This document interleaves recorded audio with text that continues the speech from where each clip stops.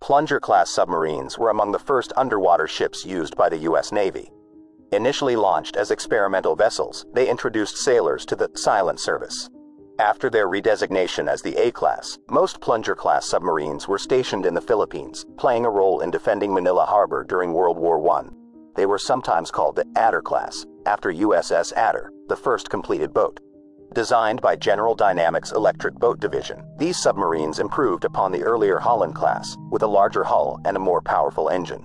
The subs had a single hull design, with all ballast and fuel tanks located internally. Despite significant advances in design, they had several deficiencies, leading to construction delays. After modifications in 1905, they were fitted with periscopes, improved conning towers, and better navigation features. Advancements in military technology made the plungers obsolete by the end of World War I, and by the 1920s, they were decommissioned and scrapped. Did you know?